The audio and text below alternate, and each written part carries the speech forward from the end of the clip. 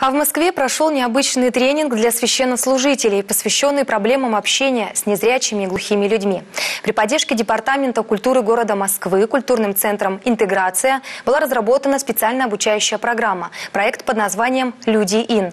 Наш корреспондент Эльвира Гордеева пообщалась с его участниками и организаторами.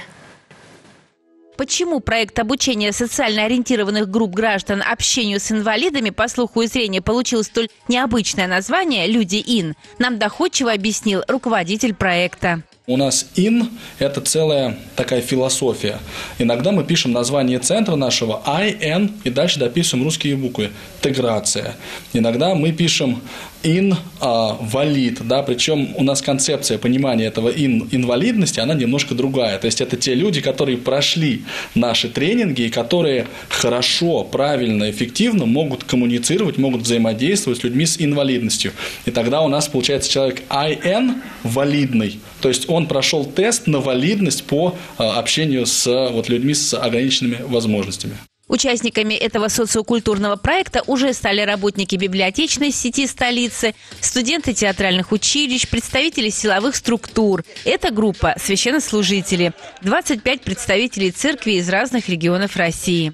Насыщенная программа занятий состоит из двух блоков – коммуникации с инвалидами по слуху и коммуникация с инвалидами по зрению. Такой барьер, наверное, стоит всегда в общении людей слышащих и не слышащих, что э, слышит человек думает, что его не поймут, и он не поймет. И поэтому на этом барьере, ну, лично я, э, вот, может быть, спотыкаюсь, у меня даже не, нету э, как-то таких, не очень понимал, как можно с таким человеком начать общаться.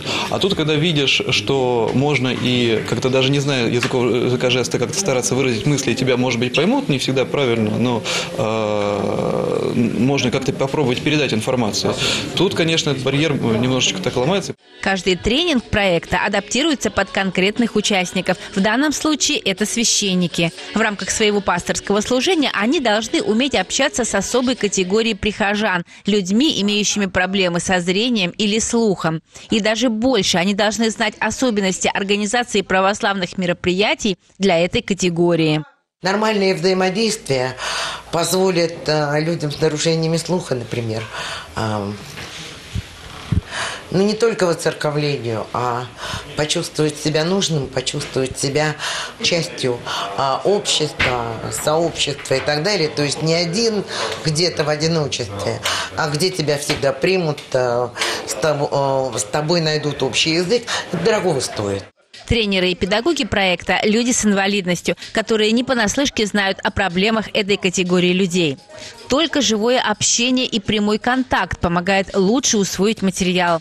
А полноценное погружение участников в мир незрячих и неслышащих людей на личном опыте ощутить ограничения и сделать единственно верные выводы.